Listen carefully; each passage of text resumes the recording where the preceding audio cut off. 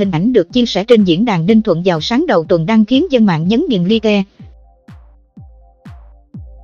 Nếu đang đi giữa đường, gặp trường hợp xe hết xăng thì bạn sẽ xử lý như thế nào? Hẳn là quan mang cầu cứu gia đình hay bạn bè phải không? Nhất là có con nhỏ giữa trời nắng nóng. Và đây là hình ảnh các anh cảnh sát giao thông thành phố Phan Rang Tháp Chàm, Ninh Thuận trong sáng nay đó.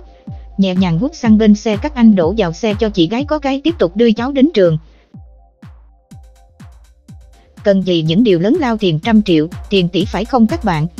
Cảm thấy ấn áp tính người, một lần nữa, tận đáy lòng cảm ơn các anh, nguồn tin này chú thích.